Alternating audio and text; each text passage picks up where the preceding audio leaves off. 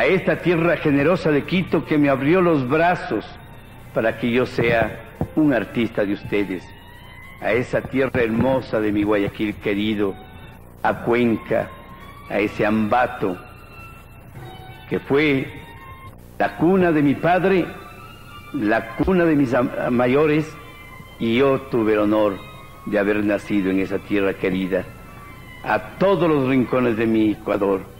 Gracias de todo corazón por haber resistido ustedes el teatro de Ernesto Albán, unas veces equivocado, otras veces de verdad, pero siempre poniendo mi respeto y mi veneración al pueblo de mi patria, porque son ustedes los que han hecho posible que este artista vuelva a estar una vez más en el hogar de los ecuatorianos.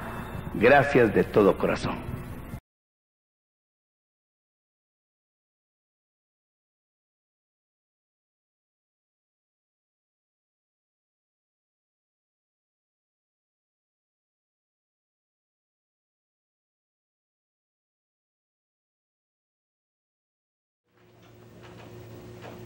¡Viva don Evaristo! ¡Viva, el salvador de la patria! ¡Pan y mantequilla con Evaristo! ¡Evaristo bajará las salchichas! ¡Qué leche la de Evaristo, no! ¡Viva la leche con pólvora! ¿La leche con qué dijo este? Con pólvora. La leche con pólvora. Claro. La leche en polvo te enseñé, no la leche con pólvora.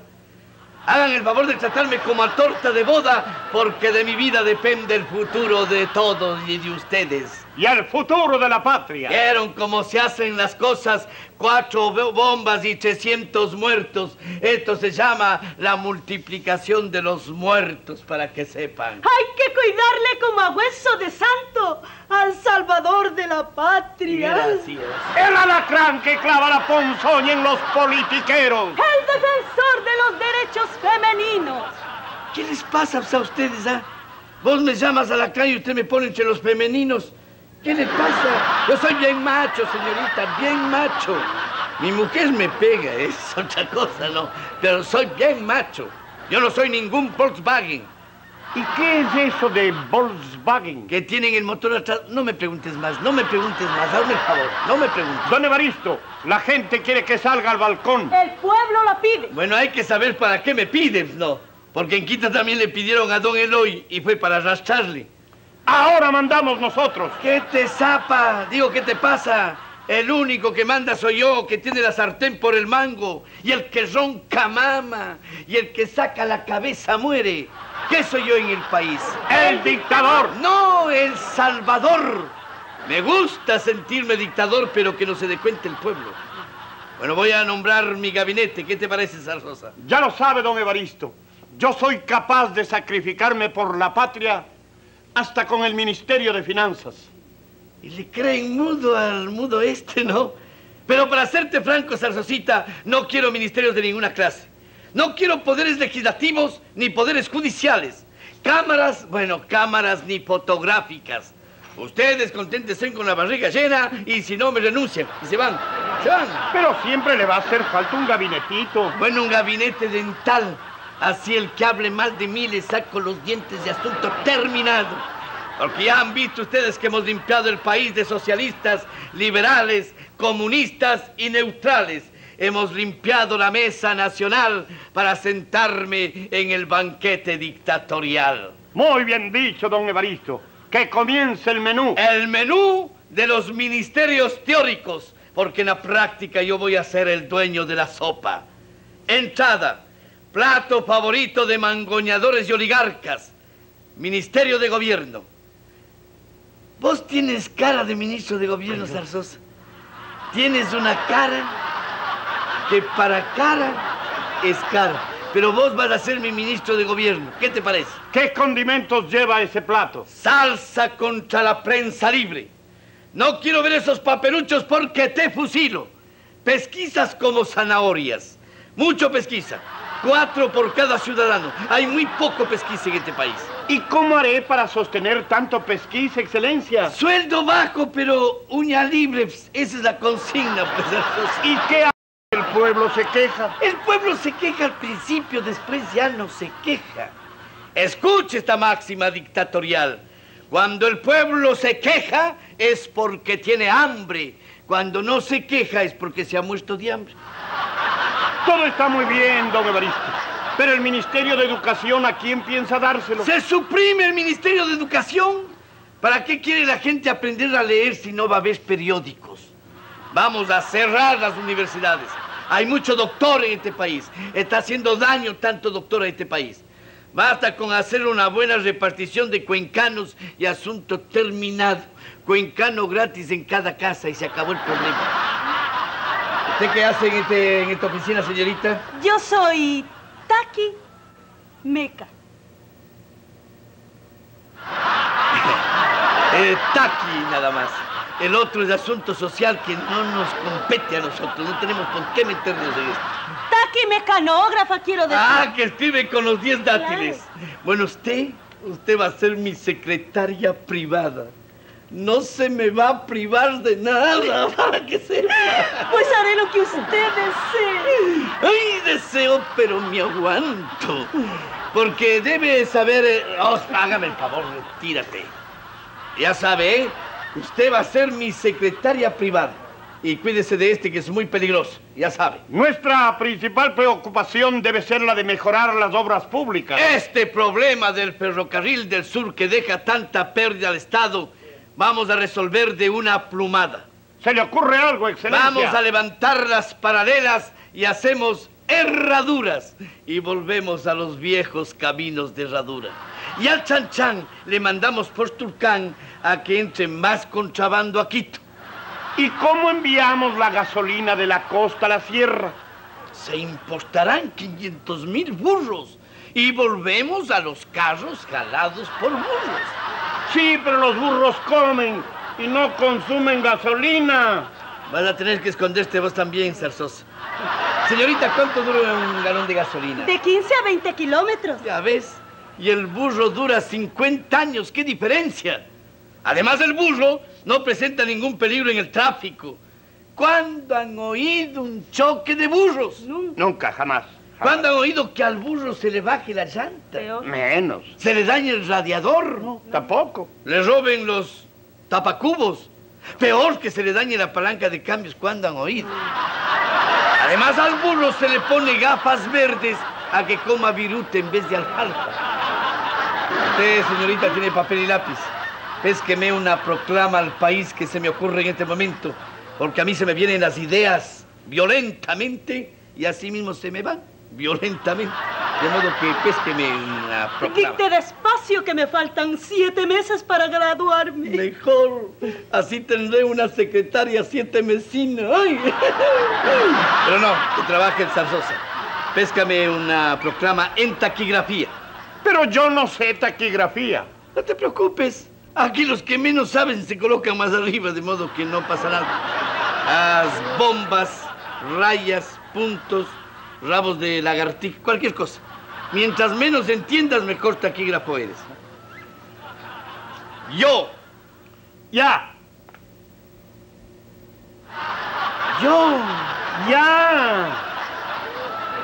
te digo que yo. Yo le digo que ya. Allá yo. Yo ya. Yo ya. Ah, no, es que. Yo, Evaristo Corral y Chancleta. No, no, no, no, borra eso de chancleta porque está muy vulgar para dictador. De gana me han de sacar cachos y cuentos, ¿no? Con yo, Evaristo Corral y Che. Así han de creer que soy chiriboga. Asumo todos los poderes. De hoy en adelante se impone en este país la gramática de los mudos.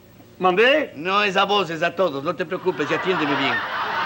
Artículo segundo. Se prohíben las importaciones y las exportaciones.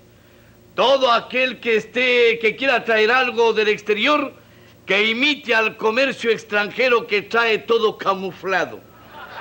Se suprimen cabarets y nightclubs para evitar que los oficiales pagadores se gasten la plata del Estado. Se suprime el divorcio. Todo aquel que esté cansado de la mujer, que la entregue al Estado. El Estado se encargará de reencaucharlas y de reexpedirlas por la vía legal. Y si la mujer está cansada de su cónyuge, ¿Cónyuge?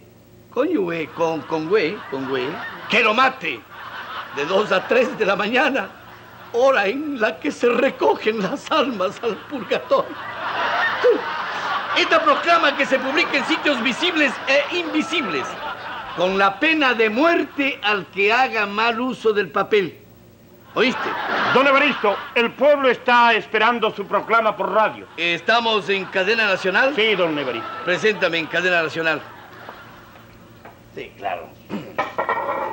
Probando, probando, probando. Que probando, pues, no hay que comer y probando. Qué optimista es. Señoras y señores, Radio Nacional A Voz del Amo se complace en presentar a ustedes a don Evaristo Corraliché en su alocución al pueblo ecuatoriano. ¡Vive el hombre de las masas! ¡Viva, viva, viva, viva, viva! ¡Viva el salvador de la patria! ¡Viva, viva! Ahora déjeme solo a mí.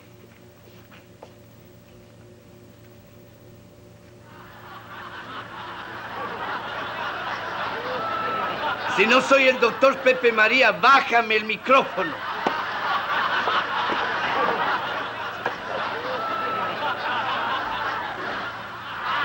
Si no soy el Omoto Araujo Hidalgo, súbeme el micrófono. Soy Omoto, pero no tanto. Stop. Suicídate. Desaparece. Cómete el mosco este que está por aquí. Estúpido, eh. ¡Qué! Ay, creí que era el vicealmirante que venía. Espera, espera.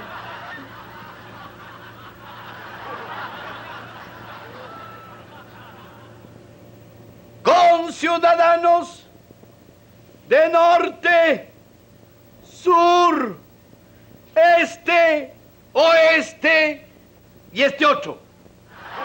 Compatriotas de tierra, mar, aire, aire, aire, aire.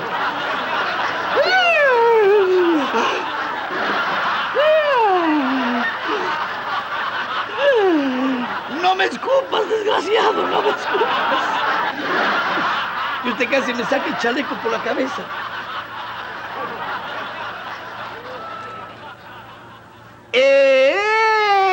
Heme aquí, transfigurado y sórdido ante el clamor de los claros clarines que cual aurora clara anuncia el clarear de un nuevo día. Ya claro de una vez por todas que me gustan las cosas claras y que odio a los discursiadores usufructarios del dolor del pueblo. Ay, ay, ay, ay. Aplaudan. ¡Bravo! ¡Bravo! ¡Bravo! Bravo, bravo, si no soy perro, bravo, bravo.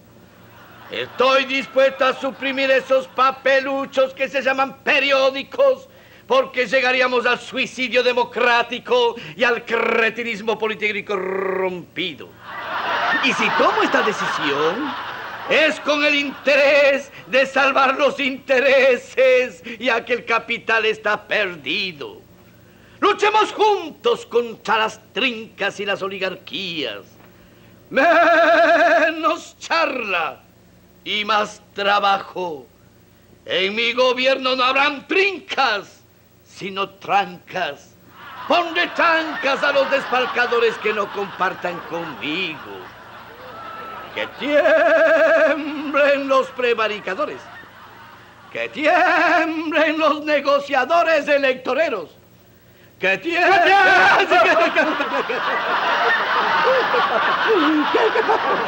¿Qué pasó? ¿Dónde está mi pipi? ¿Qué pipi? Mi, ¿Qué pipi? mi pierna, mi pierna. Casi me mamas. Casi me matas. Casi me matas. Casi me matas. ¿Qué, Fue, ¿Qué fue? fue, fue, fue, fue. ¿Qué fue? Fue la, la emoción del momento, nada más, don. Evaristo. Esperemos tranquilos el, tri- el, tri- el triunfo. Chocho, chocho, cholos nacionales, cholos turcos, cholos boys. Yo represento la unidad nacional porque yo les quiero mucho. ¿Por qué mi pensamiento lleno de este cariño en una hora feliz me hiciera esclavo tuyo? Por una pacha pobre pero aguantadora. Por un Ecuador endeudado hasta las cachas. En mi gobierno habrá pan para todos, porque yo levantaré el primer monumento a la palanqueta. Y energía eléctrica para mi pueblo. Luz eléctrica para mi pueblo. Toda señora que esté en estado de ser madre, que se vaya a dar a luz en la planta eléctrica para aprovechar de la energía. Porque me debo al pueblo y soy del pueblo y moriré por el pueblo. Ya no avanzo sin ¡Don he, Evaristo! no he almorzado, pues. ¡Don. Evaristo! ¿Qué Hay levantamientos en Tulcán, Manabí, Guayas, Los Ríos y el Oro. La contrarrevolución. La reconcha, ¿y ahora qué hacemos? Renunciamos en en masa. En masa, si no son panaderos para renunciar en masa. La patria entera despierta.